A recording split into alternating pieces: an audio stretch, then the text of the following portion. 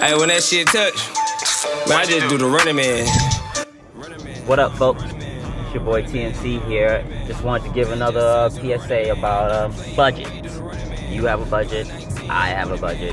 Hell, freaking dog catcher has a budget. We all have budgets. Key is is working within those things, and sometimes being able to make more out of a little less. You're just just now starting out as an artist. Maybe you have a project in which you don't have a big budget for, or maybe you just want to do some behind the scenes stuff. Well, that's where we come in. Glock 19, you don't want it, man. Gotta send a little 80 where you want Guys, thanks for watching. And to see more T4J content, please visit tmc4jmc.com. And don't forget to like, comment, share, and subscribe down below. That's what's up. Peace.